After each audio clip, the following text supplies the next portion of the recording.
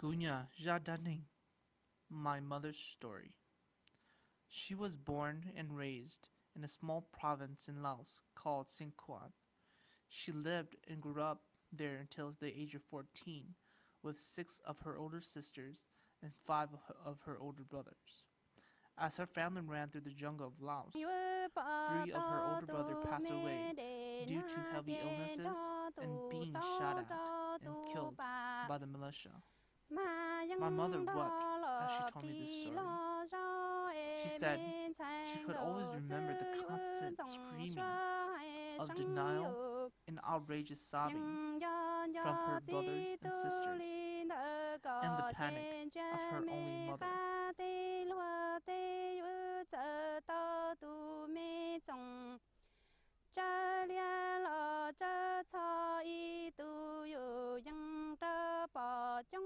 After leaving three of her brothers behind in the unknown forests of Laos, they arrived in Vinai, where it was home for them for the next three months, before having to leave it all over again.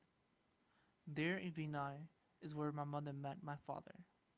They both got married at one of my uncle's bamboo and wooden homes, where they surely celebrated in recognizing my parents' love for each other. After a week has passed, they all began to hear about new news of attacks on close villages near where they were staying. My parents soon decided to quickly leave and head out west into Thailand to seek refuge from the anticipated outcomes.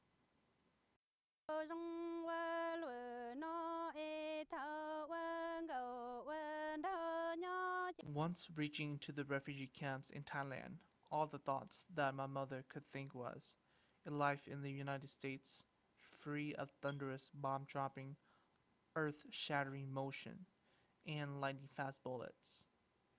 As she settled down with the few clothes and valuable objects that she has, she begins to imagine the stories that her own family would get to endure one day.